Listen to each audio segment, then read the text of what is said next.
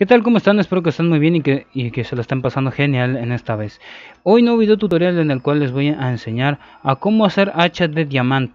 Cómo hacer eh, un botón de distorsionado, lo cual es bastante fácil y bien sencillo. En esta ocasión, gracias a Minecraft 1.15, 1.16, eh, perdón, esto ya es posible de hacer. Ya es que es posible de hacer, eh, pues este, este botón de distorsionado. Bueno, primeramente que nada necesitamos buscar este, este árbol. Este árbol es el, de distorsionado.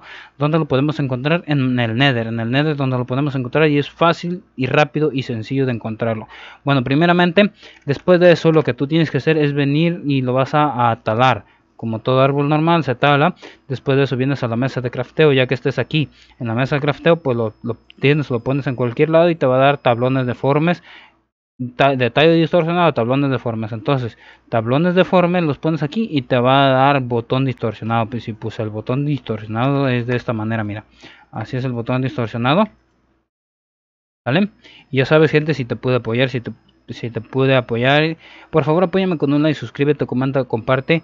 Y, y si te suscribes, activa los de la campanita de notificación. Así para cuando a mí me llegue, eh, cuando yo subo un video, pues te llegue y te notifique que yo he subido un video. Y o tutorial o gameplay, ¿sale? Hasta el próximo video. Se les quiere, gracias por ver mi video.